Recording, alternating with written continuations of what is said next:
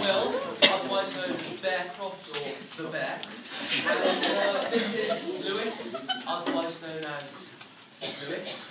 And um, Lewis is almost deaf. So as I sing, he's just going to go along with the weird spasms that he heard. And I'm going to I'm going to sing a song. A song about love. Something which I know a great deal about.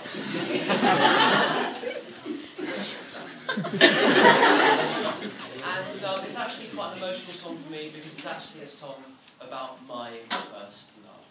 So I'm going to sing this song and really try to express myself through music. One thing I should mention, since we last did it, I have changed a few of the words, just the same. See, completely dead, can't hear a thing.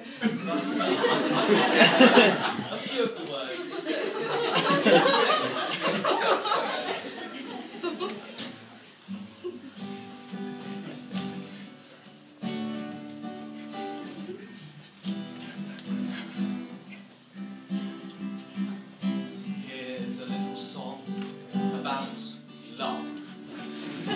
Love is a wonderful thing.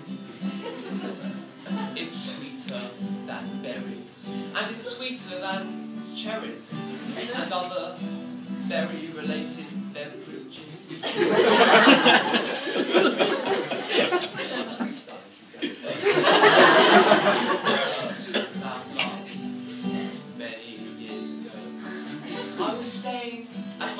My great-grandmother's house. No, now my great-grandmother. She was very good to me. She gave me little biscuits I could dunk in my tea.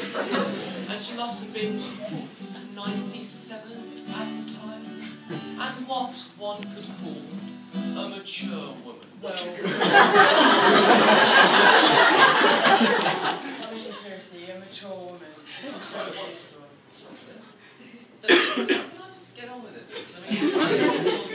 It's been like since year nine. I don't think we should change it now.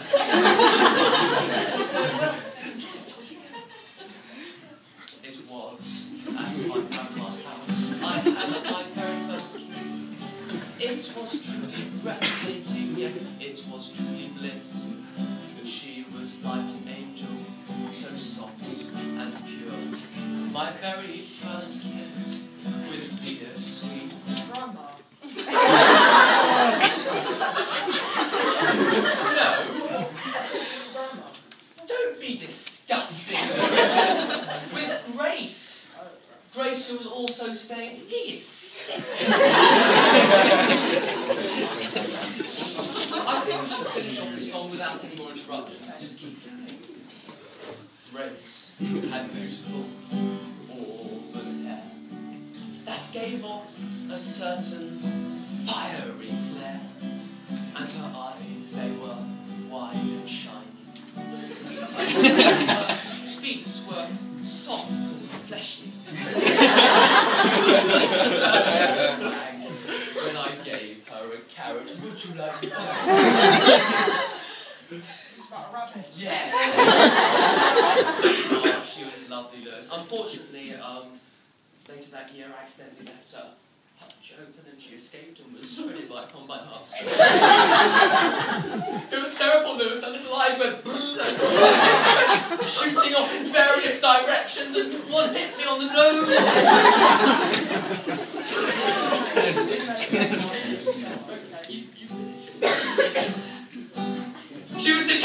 She was decapitated, Lewis!